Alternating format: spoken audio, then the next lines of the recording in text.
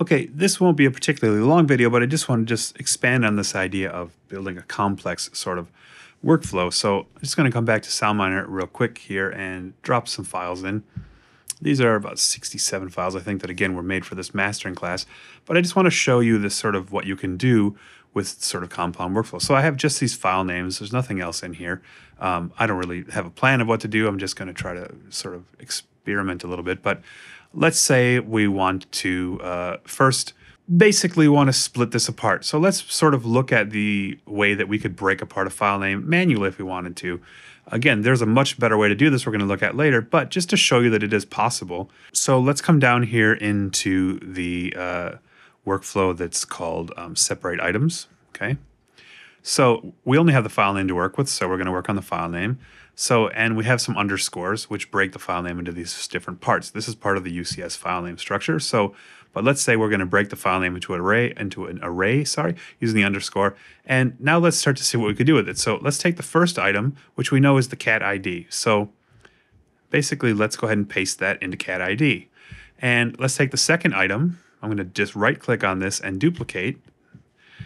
And let's say, let's take the second item, and this is going to become the effects name right? That's what we're calling this second chunk. Now, in my file name, you'll see I don't have any spaces in any of these. So we saw earlier this one called auto split. So let's add that to our little sequence and we'll say auto split the effects name to the effects name. That should have the effect of breaking this apart on every sort of capitalization. Now, let's come back here and let's duplicate this again, but let's drag it down now below. Let's kind of put this down here and say, take our third one and put that into designer. But we don't want to use just the initials. So now let's say we want to take and do a find and replace within the designer field. And let's just find TN, which is going to be the only thing that's there, and replace with my name. And then lastly, let's come back here again. Let's duplicate this one more time. And let's drag this one down to the bottom. We'll take the very last one, the fourth one, and let this put this into show. So basically, I'm manually breaking apart a file name and the reason this will work is, of course, because our file names are very rigid, and we know that in every fourth position is this source ID, and every third position is the creator ID. This is, again, one of the powerful things about a file name that has sort of this rigid structure. It may not seem you know perfect to you but it allows us to do things that would be pretty difficult if i threw a bunch of vendor files in here from different vendors every one of these pieces of information even if it was in the file name is likely to be in a different place so um, I haven't troubleshot this. Let's just run it and see what happens. But basically, when I run it, you see it does exactly what we told it to do. Take the cat ID, which I have to show here. Sorry, it's not actually showing at the moment. So let me show this and bring it back over here. Put this on the far left. So it went through, it stripped out the cat ID, placed it over here into cat ID. It went ahead, took the second part, which is going to become the effects name, which we sort of did here by hand, and it split out on capitalizations. So there you go, quite nice. And it basically took the TN and pasted it here, then went ahead and after it pasted it, because of working in order here, did a find and replace. And then it took the fourth item and it put it into show. So I've just manually more or less broken this out. Now, we looked at this thing earlier called run process script.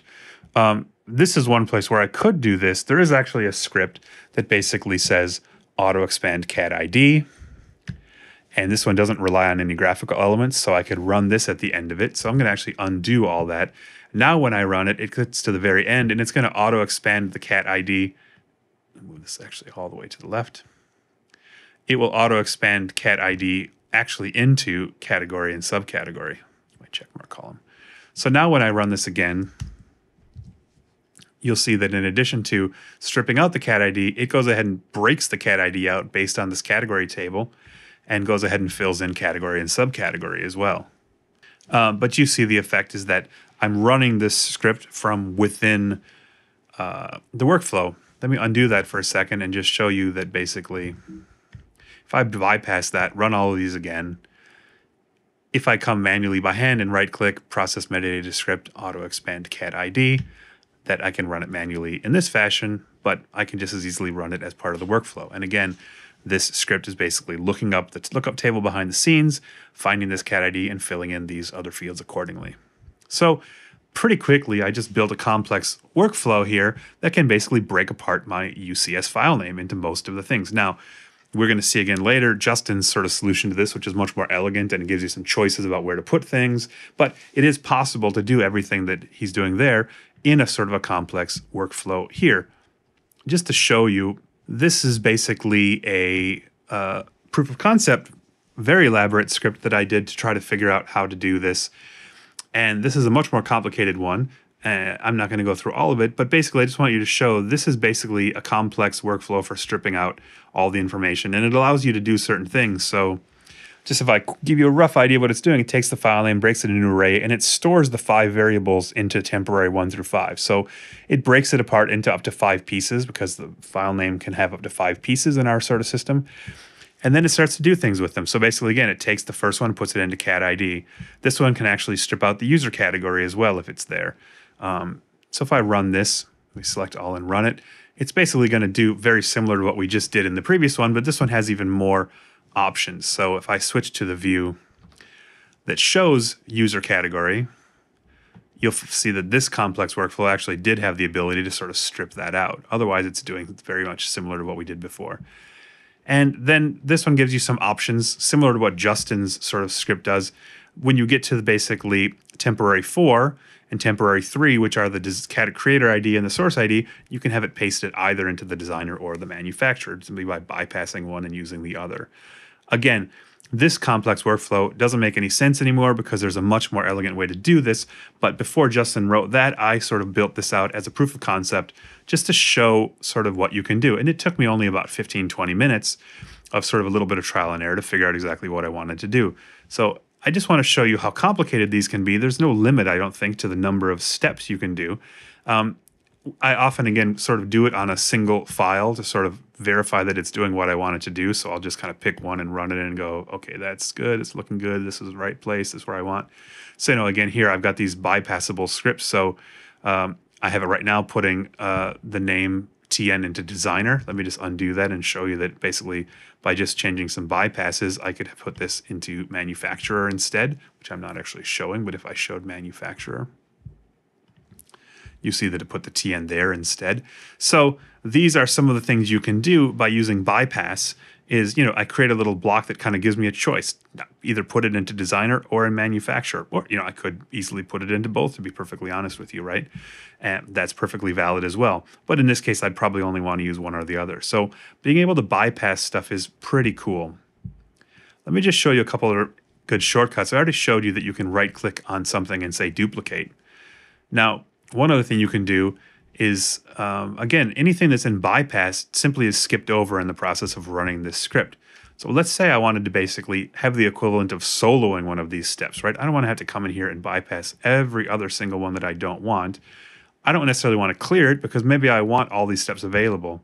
So you have a couple options. If you right click, I can say solo this action, which basically bypasses everything else. It doesn't actually solo this one, but it bypasses everything else. So effectively it solos that one.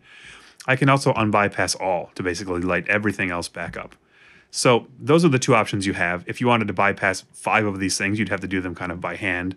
But again, if you wanted to quickly clear them, unbypass all will basically do that.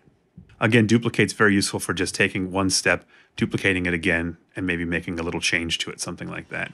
So I want to show you a little example of a couple of other complex workflows the one that I just showed you was to basically extract information out of a file name. Well, I built a really long one that can actually build a file name out of the various metadata fields.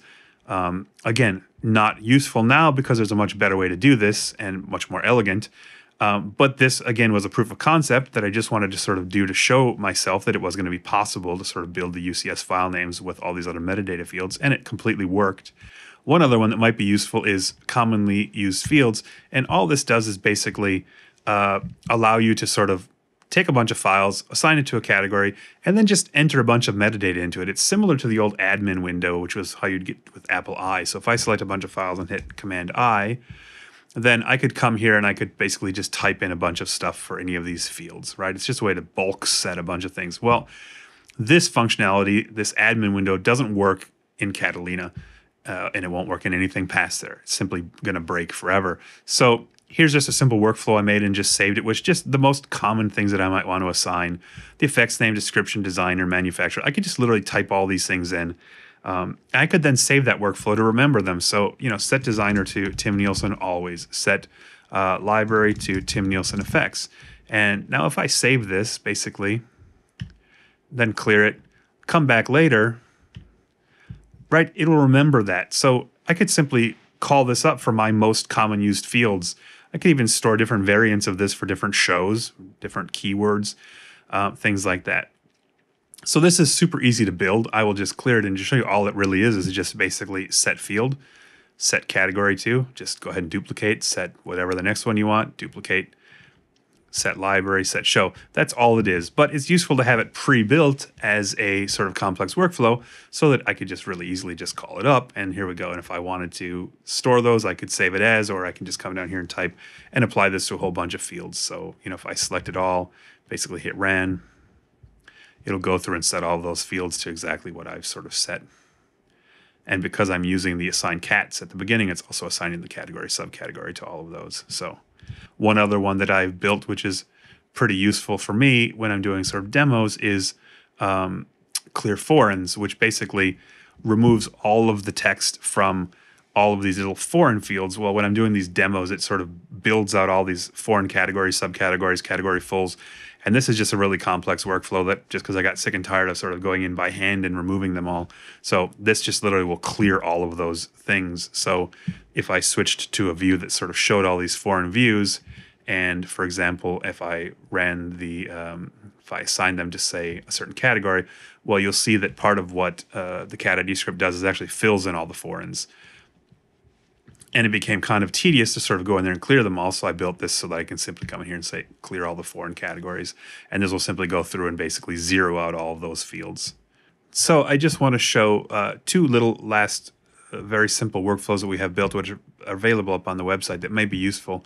And um, the first one is this one that just says remove cat ID from file name. Uh, but before I run that, I want to basically run the script which is going to break the category ID out because I want to be able to have it available to put it back later. So I'm going to just run this. Actually, I'm going to run it on everything, on all files. I have it hotkeyed, but it's basically the equivalent of right-clicking and saying run metadata script auto expand cat ID. So again, all it does is takes the cat ID at the beginning of the file name and fills in the category, subcategory, category full. Now, let's say I've done that and one of the complaints which we sort of trying to address in another video on file names is some people don't want the category ID. Well, this is a very simple find and replace, but it uses regex. Again, a little over my head, but somebody wrote this to basically say, look for basically every character up to the first underscore, which according to our file name structure is the cat ID. So if I run it this way, basically all it will do is strip out the cat ID from the beginning of the file name, right? So there's that. This is available up on the website. There's also one here that says basically uh, prepend cat ID to file name. So in this case, we have the cat ID here. And let's say that you're a vendor and you want to deliver a UCS compliant file name. We sort of mentioned over in the vendor requirements that all that actually entails is appending, sorry, prepending the category ID to the beginning of the file name. So this is just a two-part workflow. It's incredibly simple, but this will accomplish that. Now, this step here is necessary because prepending the cat ID will literally take this and paste it right at the beginning of the file name. But the rule is that the cat ID has to be followed by an underscore. So we actually sort of do this in reverse. Basically, we're going to use this thing called field build, which we looked at, say, and build the file name based on the file name, but with an underscore in front of it. So underscore, then what's currently in file name gets built. This colon one, you'll see sometimes come up by default. It's not necessary, but it has to do with prioritizing um, the, I believe, the file name limit. So if it's going to run out of space in this 255 characters, which fields are basically prioritized first? So if file name is basically prioritized with a colon one, then it says basically truncate that one absolutely last. That's the most important of the fields. I don't want that one to get truncated if you have to truncate something. But again, I don't actually need that in there. So in this case, take rebuild the file name by just taking it, pasting it back into itself with an underscore before it.